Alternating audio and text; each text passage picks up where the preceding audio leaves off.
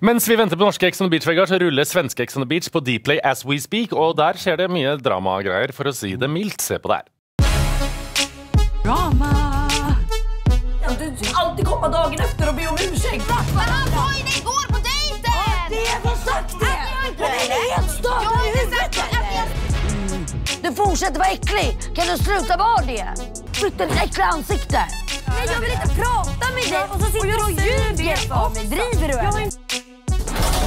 Ja, du är f***ing skadad. Sök hjälp! Mm. De enda som har suttit med Paulina ikväll är ju ni. What the fuck, vad är det som händer?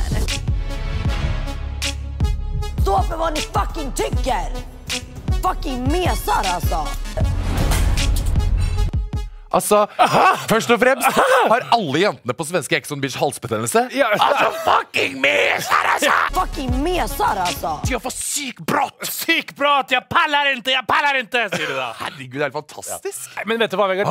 Vi ikke så for mye glans på svenskene, fordi eh, vi har hatt den beste casten noensinne i Ex on the Beach. Nei, men nå, de har bedre hus og bedre folk. Nei, men ikke, ikke bedre folk nødvendigvis. Ja, vi har hatt Melina, she was a legend, men det er sånn, hun sto da sju meter fra henne der du er stygg, du er beit, du er feig. Her går de opp i ansiktet på hverandre og sier 'sykt brått'! Ja, Ja, Psykprat! står og skriker med de utrolig hese stemmene sine. Ja. Det er kanskje greit at det ikke går så langt, da, men jeg tenker jo sånn når vi ser det her dette er, jo- altså, Ex on the Beach Sverige er jo gigantisk suksess. Norge er faktisk enda større streamingtall i forhold til folketall. Men eh, svenskene er jo sånn mye vil ha mer, så de kjører to sesonger i året. Én sesong i eh, Mauritius, og så kjører de én sesong i Europa.